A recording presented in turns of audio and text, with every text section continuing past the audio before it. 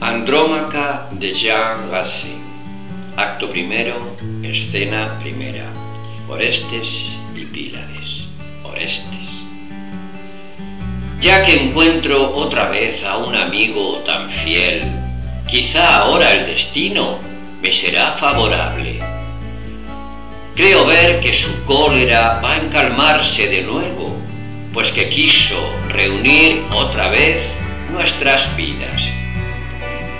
Como tierras que fueron para mí tan funestas han traído hasta Orestes la persona de Pílades. Como tras de seis meses de juzgarte perdido, en la corte de Pirro te contemplan mis ojos. Agradezco a los cielos que poniendo mil trabas parecían cerrarme el camino de Grecia.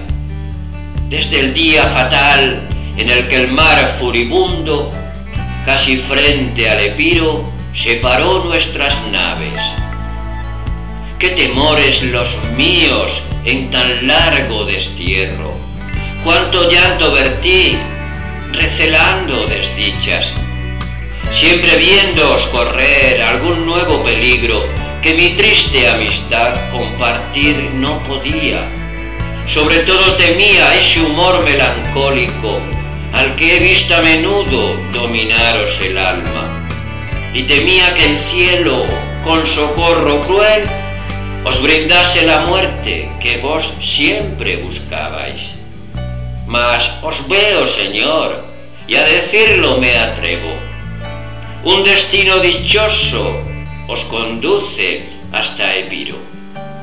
Lo suntuoso del séquito que anda tras vuestros pasos no es lo propio de un triste que persigue la muerte. Ay, ¿quién puede saber qué fortuna me espera? El amor me ha traído a buscar a una ingrata, mas ¿quién sabe el final al que ordena mi vida y si al cabo persigo mi vivir o mi muerte? ¿Cómo es eso? Vuestra alma hecha sierva de amor le confía la suerte que Él os quiera otorgar.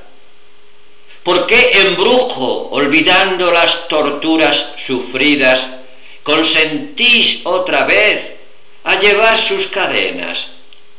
¿Creéis pues que aunque Hermione fue en Esparta implacable, os va a dar en Epiro acogida mejor?